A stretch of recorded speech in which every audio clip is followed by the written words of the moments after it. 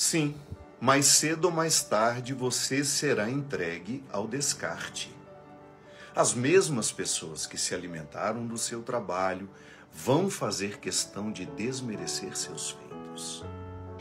Vão dizer que você parou no tempo, que novos nomes surgiram e que são muito melhores que você. É assim que funciona a vida.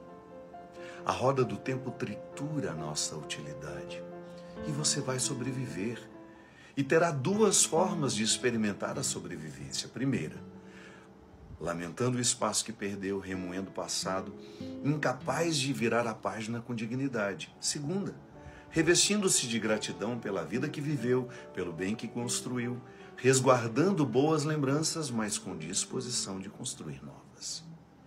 Veja bem, desfrute a relevância que o seu ofício lhe proporciona.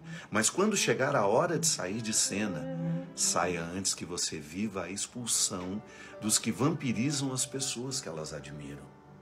Sair de cena também é bom, é nobre. Oportuniza-nos retirar sonhos das gavetas, construir uma rotina que nos permita tecer uma nova e frutuosa etapa da vida.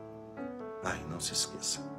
A roda do tempo pode até triturar a nossa utilidade, mas jamais será capaz de triturar o nosso significado.